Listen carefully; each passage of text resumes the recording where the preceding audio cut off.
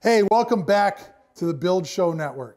I'm Steve Baczek, architect. We're out at the Ranch Remodel today, and you are not going to believe what's happening today.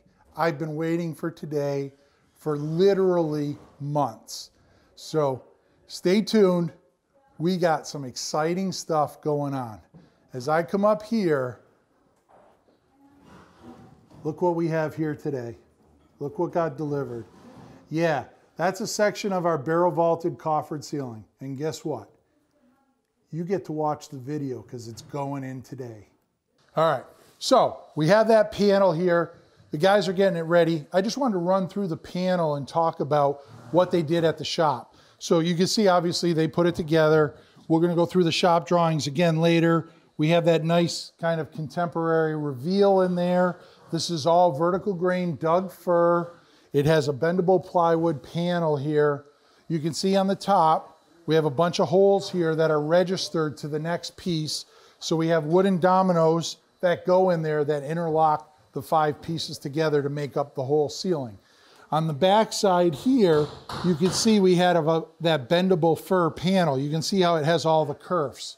So they literally built a curved template to spec and then they pressed and glued that bendable panel on the back of the frame there. And that's how they made this up. This is just a series of different glue ups where we have a, two pieces of five quarter and we finish it with a piece of one by material here. Makes for a nice contemporary frame. Has our nice radius there that we specked out. And uh, let's get one installed. All right, so you can see we got one of the panels in place. The means to which we install these panels, we have a couple lifts here. You can see we have good protection. It's all fully padded here. And uh, we basically just crank this up. We have some metal straps up on the top side there that'll get screwed in up at the attic level to hold this in place. We have some stuff going around the perimeter that will also help hold this in place. And uh, let's not hold back, guys. Let's get this one up there.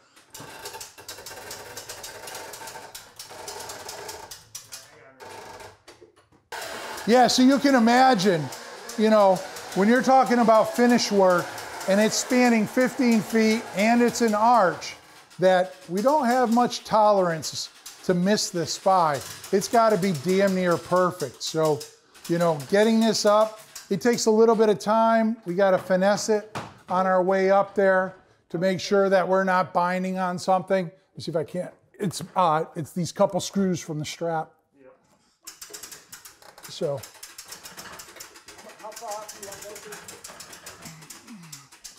I'd take it all the way up if we can.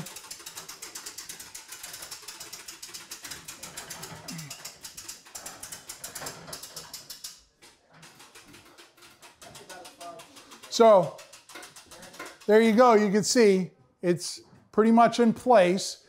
You can see here, we might be able to get a better shot here, Matt, but you can see the series of uh, what we call dominoes here.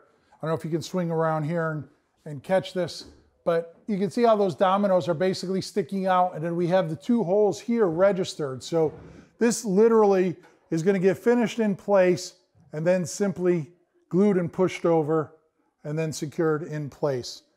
And that's how we get this coffered ceiling in place.